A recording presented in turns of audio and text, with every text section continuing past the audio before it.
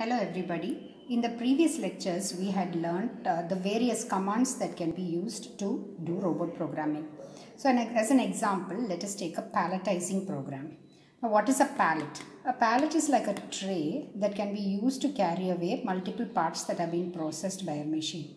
Let us assume that a machine is processing parts and those processed parts are available uh, in a chute uh, through a chute. So the robot's task is now to pick up each individual part and place them one by one in the positions that are marked by crosses on this pallet.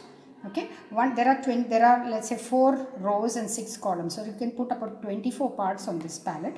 And once the pallet is full, that pallet will be taken away with the 24 parts. And then what, another pallet will be brought, another tray will be brought here, and the next 24 parts can be loaded. This operation is called palletizing. Instead of taking individual parts and moving them elsewhere, at a time 24 parts are moved and these parts are placed in the pallet by the robot. So for before writing the program, let us see how to define variables that can be used for uh, explaining or using in the program to explain the different locations. Now for example, there is a point that is called safe. So safe is a location from which the robot can start and stop the palletizing operation. So it's a safe location to start and stop the palletizing operation. Now next operation is pickup. Pickup is a location from which the part is picked up. For example, at the we are talking about the part being processed and delivered via a chute. So the end of the chute is the pickup point where we are going to get the part.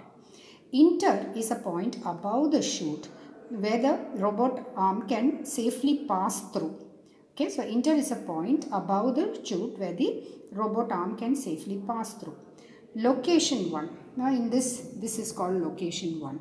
Okay, location 1, let's say this is location 2, location 3, location 4. So each of these 24 locations are location of the first pallet position, location of the second pallet position up to the 24th pallet position. Now we can't directly come like this and place the part over here. Suppose there are parts over here already. Suppose I'm going to come this way and place this part. It's going to knock down this part. It's going to, the arm is going to be affected. The, the end effector is going to be affected because there's another part sitting here. So the process of placing a part on the pallet is not to come like this and place the parts. What we do is we bring the end effector here with the part above the location in the pallet and then bring it in a straight line down here place the part, go up and then go back to the chute. So the next location also we, we come like this, we come to a point above the location 2, come down, place the part, then go and go back to the chute to pick up the next part. So those locations above location 1, 2, 3 are called above 1. So above 1 is a location above the first pallet position. Like that above 24 is the location above the 24th pallet position. Now coming to the program. Now our task is to fetch the part from the chute and then place it on the pallet.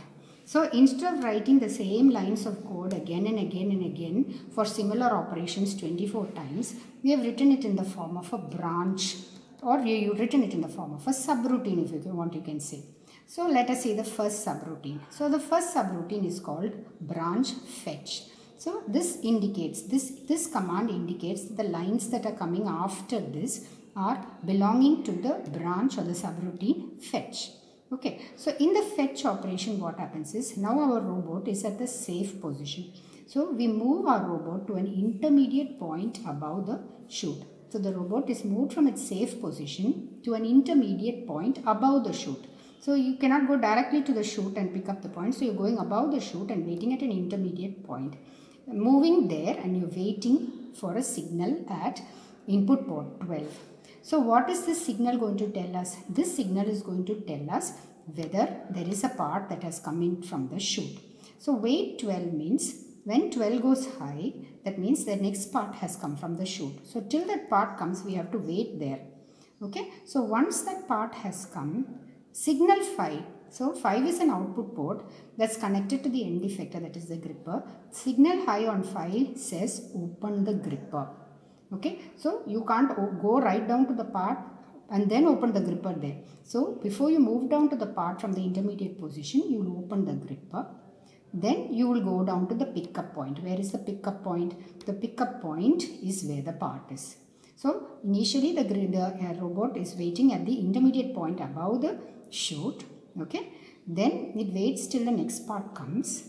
Then what does it do? It goes to the part. But before it goes to the part it opens the gripper moves to the pickup part to point where you can pick up the part then it closes the gripper. So after that it moves back to the intermediate point and that is the subroutine for branch